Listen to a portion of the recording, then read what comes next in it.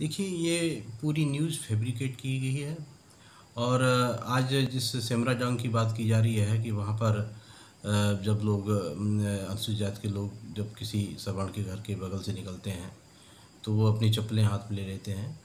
मैंने इस संबंध में सीओ और एसडीएम को साथ भेजा था और वहाँ पर उन्होंने जाँच की है, उन्होंने वहाँ पर क्लिपिंग्स भेजी हैं।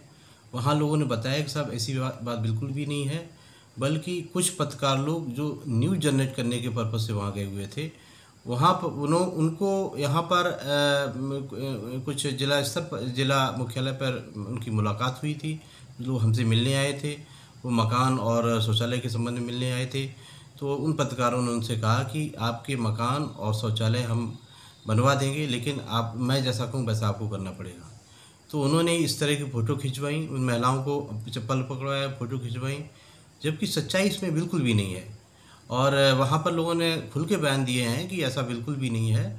हम लोग जब सवर्णों के घर या दरवाजे बगल से निकलते हैं तो हम, हमें चप्पल हम लोग नहीं उठाते, ना ही हमारे पर इस तरह का तो कोई दबाव बनाया जाता है। ये न्यूज़ पूरी तरह से फेक न्यूज़ है और ये तैयार की हुई न्यूज़ है, जनरेट की गई न्यूज़ है। और हम इस संबंध में इसकी जाँच कल तक पूरी करा के हम गवर्नमेंट को इसकी सूचना दें।